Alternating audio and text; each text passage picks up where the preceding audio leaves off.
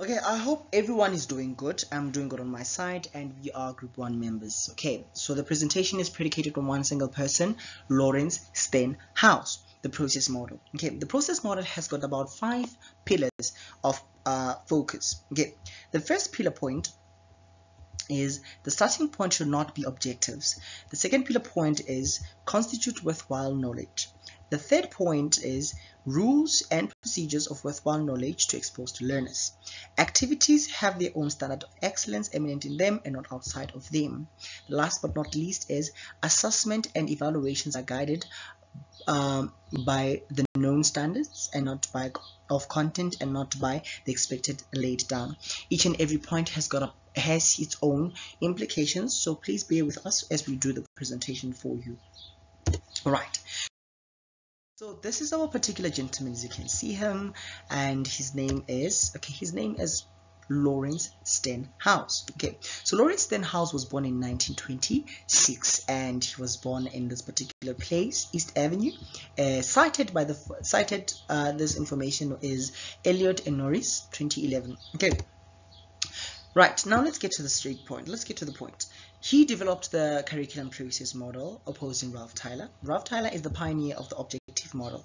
Okay, so Lawrence Stenhouse came up with an entire idea that was in opposition to Ralph Tyler, the process model. Okay, Stenhouse believed that in the adaptability and flexibility of the curriculum to ensure that ability to acknowledge to acknowledge the changing needs and attentiveness of both the learners and the teachers so stenhouse was of the point that curriculum should be very versatile should allow the teacher and the learner to be able to maneuver around the learning content without infringing on the ability to attain the knowledge that is prescribed. So now Let's unfold this beautiful model, the process model. Stenhouse proposes that instead of de depending on knowledge, we should rather depend on how the knowledge is concerned. So the process model is not really about what needs to be attained, but how we attain the knowledge at the end of the day. And we, we do not necessarily have the pre-specific knowledge on what to be attained. Okay, so we ask ourselves two generalist questions when we deal with the process model. The second part, the, the first part is the what what shall they learn? The knowledge that needs to be learned, the concept, the topic. And how shall they learn it? Not what at the end of the lesson should have been learned. Okay, so these two questions, these two questions uh, for form the generalist question that constitute the, to the following uh, idea, the curriculum process. Okay, so the curriculum process will lead us to what standards and levels have been reached. So at the end of the day, once we are done with what they shall learn and how they shall learn, that becomes our curriculum process, not necessarily what needs to be attained at the end of that particular lesson. We will then assess what have been reached, what were the learners able to gain out of that concept, all right? Okay, because we press for time, I'm going to try to speed it up a bit. Okay, so the starting point should not be objectives. Okay, should not be objectives. So Stenhouse was in opposition of that. Okay, let's, let's just change the pen because we can. All right, uh, let's change the color. We go to green. Okay, so Stenhouse at first, the objectives may be encapsulated by content, by the content. However, Stenhouse was or has explicitly dismissed this. He was off the point that objectives should not be the starting point. We should have what we need to know, but it should not be the reason why we start our lesson. We should not predicate our lesson based on objectives. Okay. And he further stated that teachers who state goals in, the in their lesson are unable to reach them in knowledgeable classroom which is obviously as a teacher with two years experience i have seen that most of my lesson most of my objectives are somehow seldomly met.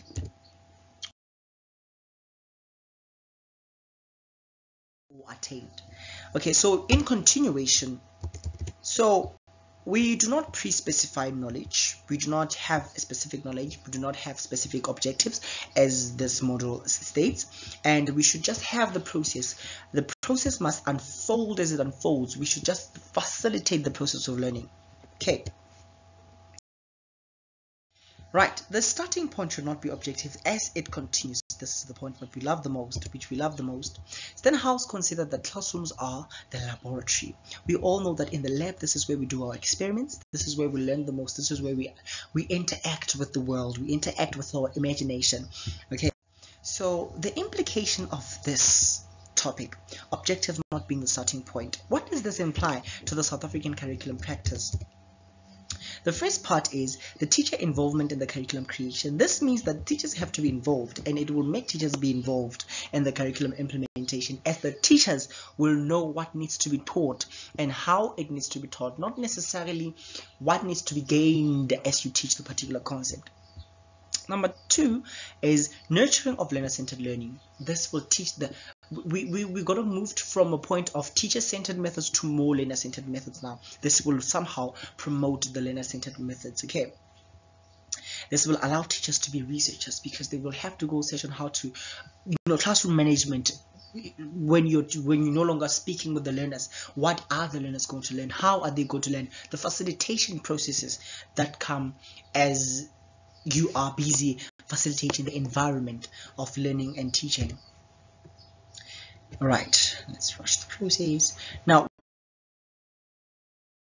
constitutes so worthwhile? Now we've gotten to the point number two, worthwhile knowledge. What is this worthwhile knowledge, one person may ask? This is knowledge that is important for one to acquire and essential for them and their immediate environment. Okay, this may differ from a person to person. I, for one, I would not necessarily like to know about lifeboats and, you know, fishing because I do not necessarily live near any environment where I can do fishing. But if I have to go hunting, then of course, that's more relevant to me. Okay, so This is worthwhile knowledge. The fundament, the foundational principle of the process model involves openness. Okay, this model wants you to be a very critical thinker. You must be open to learning environment. You must be open to all the other. That means all five, all five. What you call these things? What you might call it? All five senses of a person must be alert at that moment.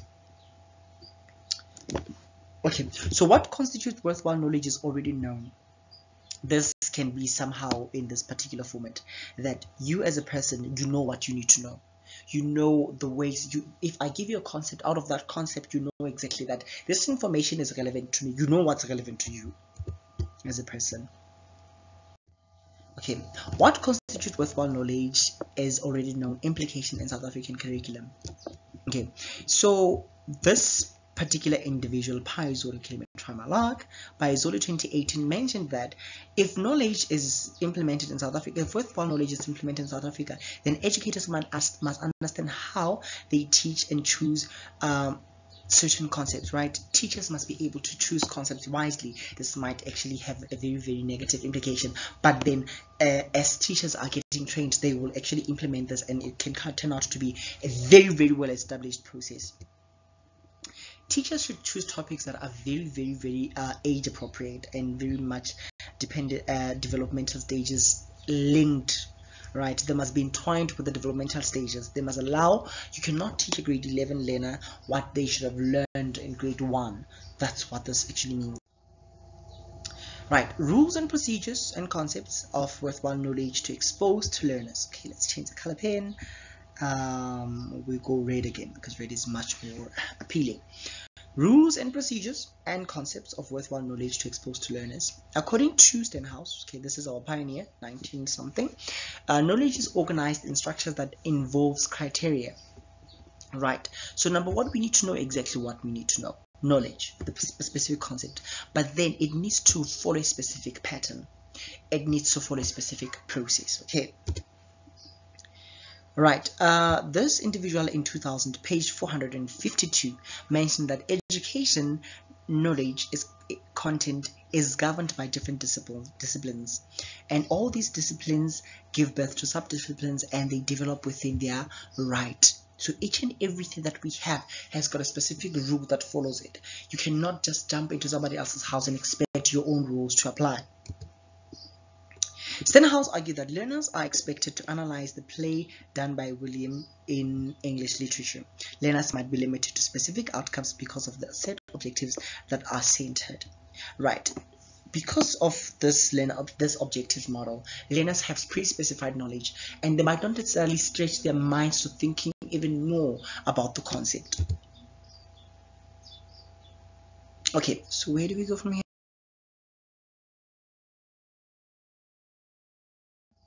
the implications of rules and procedures of worthwhile knowledge.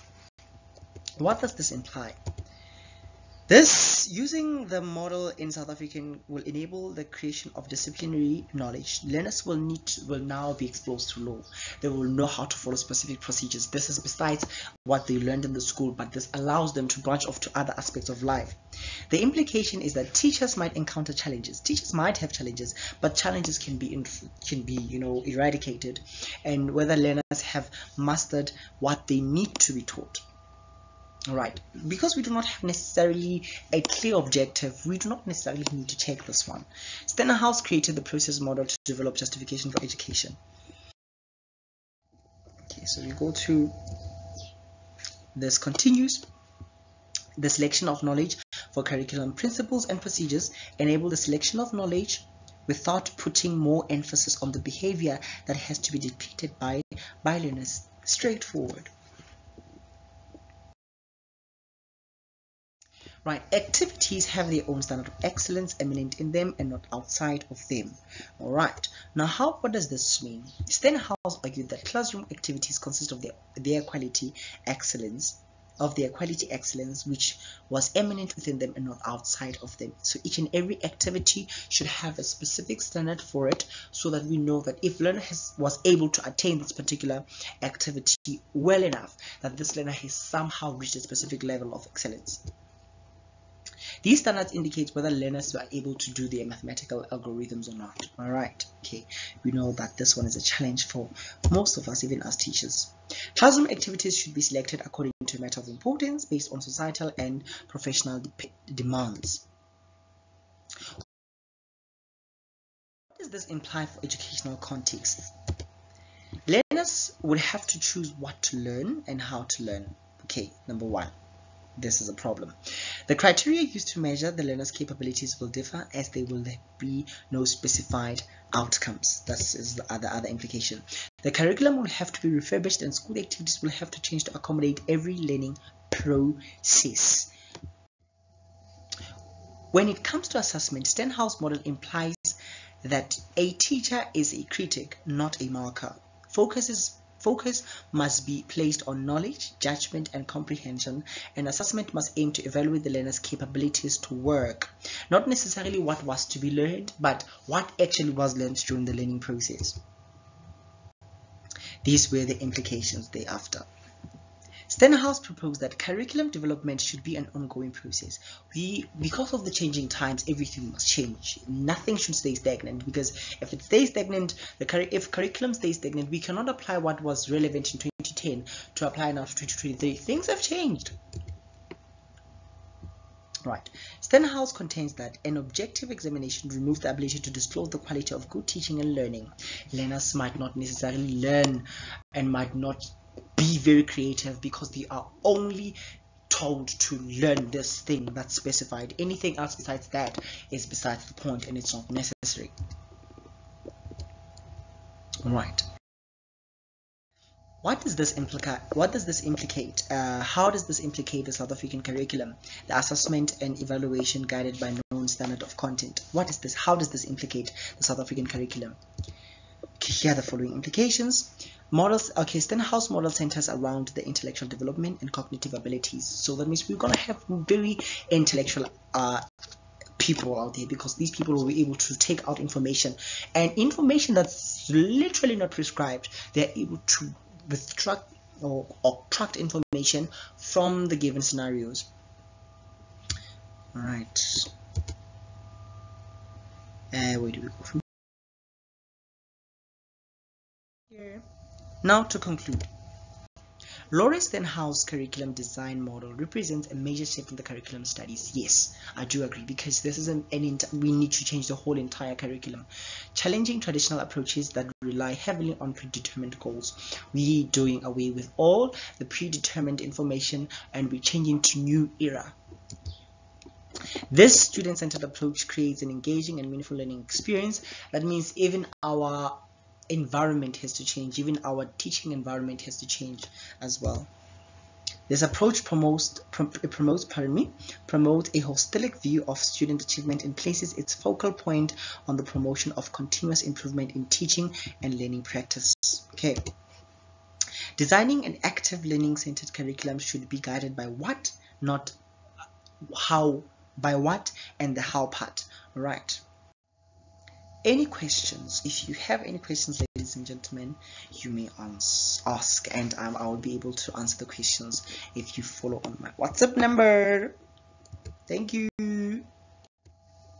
So the